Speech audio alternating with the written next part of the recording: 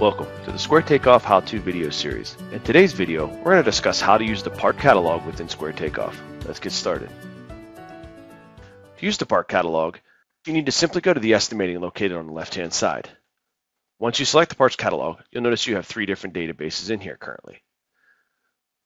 Right now you have the Square Takeoff Parts database, which contains pieces of material and labor that allow for you to calculate those items when used in conjunction with your templates and your assemblies located within this section here of your software. Joist tool parts and your roof rafter parts.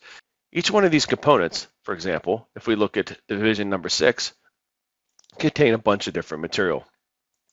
If we look at our wood frame studs, we can see items such as our 2x4 studs, 2x4x8, 2x4x12, so forth and so on. Each one of these items contain an industry-based formula that allows for you to calculate the material whenever doing your estimate. If you would like to modify these items, and you'll notice that you're unable to edit them, if you would like to edit them, you can simply create a new catalog and add these items to it. This will give you full control of editing each one of these items. To add a new catalog, all we need to do is simply select Add New Catalog. From here, we can give it a name. I'm going to say My Parts. I'll go ahead and copy this and paste this here as my description. Next, we'll select our general manufacturer. And lastly, they'll go to default catalog. Now, when you option this, you will see that you have floor and other items that are good for the joist catalog. If creating just a default part catalog is what we're going to do, we're going to select the default catalog. Next, we'll hit save, and you'll see that this item is here. You'll also see that it has no current parts underneath this catalog. What we can do is we can simply go within here and grab any of these components out if we want. We can also grab the main parent item if we prefer. For this example, I'm just going to go ahead and grab a hold of the wall framing. I'm going to drag it, and all I'm going to simply do is apply it. Once I do this, I'll be prompted and asking me if I want to go ahead and modify this here. So I want to go ahead and move it. I'm going to select yes and hit OK.